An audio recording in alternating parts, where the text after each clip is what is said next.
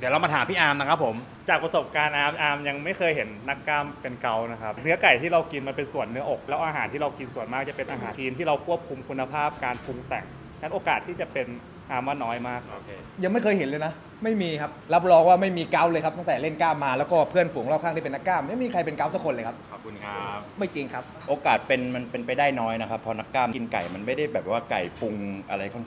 คือปรุงไม่เยอะอะ ทำให้แบบไม่ไม่ได้ไม่ได้มีน้ำตาลเยอะกรดยูริกก็เลยไม่สูงเกินไป คือส่วนตัวยังไม่เคยเห็นนักกล้ามที่เป็นเกาต์นะครับ เคยกินไก่วันละ7-8โลอย่างเงี้ยครับก็เหรอฮะไม่ได้ใช่ครับผมไอถุงละ2โลผมกิน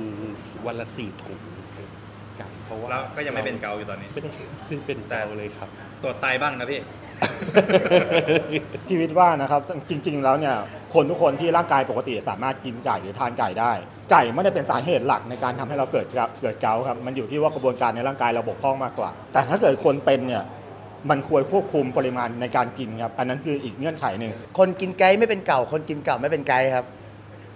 ใช่ถูกแล้ว ถูกครับ ใช่ครับ เกาที่น่ากลัวที่สุดคือเกาไม่รักผม เอาแล้วพี่ก็ขำกันเนี่ยผมพูดตาห์พูดจริงจังกัน เอาใหม่เอาใหม่ เกาเหงียน ภาษาจีน พอพอพอพอชัดเจน